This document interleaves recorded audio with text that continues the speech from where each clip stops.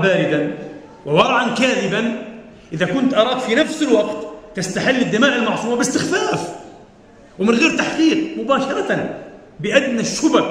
لا يمكن هذا هو الورع الكاذب.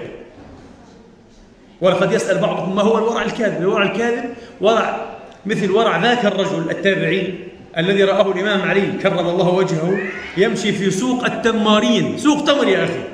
ويحمل تمرة يقول يا من ضاعت له تمر يتورع عن أكل تمرة سقطت في سوق التمارين من سيعرفها إلا رب العالمين كيف سنعرف هذه التمرات بأي نسب بأي خرطة جينية فالإمام علي رآه قال كلها يا بارد كلها يا بارد فسمي الورع البارد آه. مثل هذا أي صاحب الورع البارد أيها الإخوة آه. قد يتورط آه. والعياذ بالله ويتخوض في دماء المسلمين بلا حريجة بلا أدنى حريجة لا تختلج له خالجة من ضمير آه. آه. ويدعي بعد ذلك ويزعم أنه شيخ المتورعين. هذا نوع من اختيال التدين. هذا نوع آه كان يسميه الشيخ غزالي إيه؟ التدين المعلول التدين المغشوش. هذا ليس تدين حقيقيا.